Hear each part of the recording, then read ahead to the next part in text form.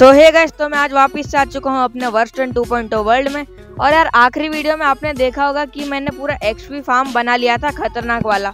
लेकिन यार, अभी मुझे लग रहा है कि उसमें कुछ दिक्कत आ गई है तो आज हमें उसके अंदर जाके देखना पड़ेगा। और यार मॉब्स भी स्पॉन नहीं हो रहे थे तो फटाफट से हमको निकलना पड़ेगा नीचे, क्योंकि मुझे बनाना है एक एएफ के रूम वो भी अपने एक्सपी फार्म के ऊपर। अभी मैं आ चुका हूँ अपने माइनिंग एरिया में तो यार, फटाफट से मैं ये सारे स्टोन्स माइन कर लेता हूँ, और मिलता हूँ आपसे दो मिनट में। अभी मैंने बहुत सारे ये वाले स्टोन माइन कर लिए हैं, अभी फटाफट से निकलते हैं ऊपर। और यार मुझे कुछ लेडर्स भी बनानी होंगी, क्योंकि यार मुझे एफ़ के रूम जो बनाना है। और आपको मालूम नहीं होगा कि मैंने यहाँ पर कुछ मतलब स्टेयर्स भी लगाई हैं, जो कि यार बहुत ही इजी हो रहा है ऊपर आने के लिए। बहुत ही स्पीड में मैं ऊपर आ पा रहा हूँ। और अभी फटाफट से मैं थोड़ी बहुत और लेडर्स बना लेता हूँ। मुझे लग रहा है कि ये लेडर्स कम है। अभी मैं यहाँ पर ऊपर बिल्ड करना स्टार्ट कर देता हूँ। और यार मैं एक्सपी फार्म के ऊपर भी यहाँ पर आ चुका हूँ। अभी मैं यहाँ पर एक्सपी फार्म के ऊपर बिल्ड कर ही रहा था।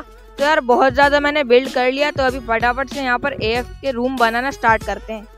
बीस मिनट के बाद यहाँ पर मैंने पूरा एफ़ के रूम बना लिया, जो कि कुछ ऐसा दिख रहा है, बिल्कुल बेकार सा, लेकिन यार कोई बात नहीं, अभी फटाफट से यहाँ पर पानी डालते हैं और निकलते हैं नीचे। अभी मैं फटाफट से ऊपर निकलना पड़ेगा, क्योंकि यार लेडर्स जो लगानी है, और यार ये काम बड़ी मेहनत का होता है तो यार फटाफट से एक लाइक कर दो। अभी मैं यहाँ पर एक्सी फार्म के अंदर आ चुका हूँ, लेकिन यार मैंने कर दी एक बहुत बड़ी गलती। मैंने यार ये ट्रैप डोर्स को ऐसे ही रख दिया और यार पानी तो डाला ही नहीं है बिल्कुल।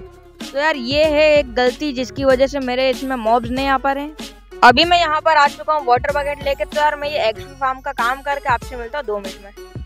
अभी मेरा एक्सपी फार्म का काम पूरा कंप्लीट हो चुका है और यार ये वर्क भी कर रहा है बहुत ही अच्छी तरीके से। तो यार एक क्रीपर भी यहाँ पर खड़ा हुआ है तो अगर आपको वीडियो अच्छी लगती है तो लाइक शेयर सब्सक्राइब कर दो। 2000 सब्सक्राइबर होने वाले हैं और तब तक के लिए बाय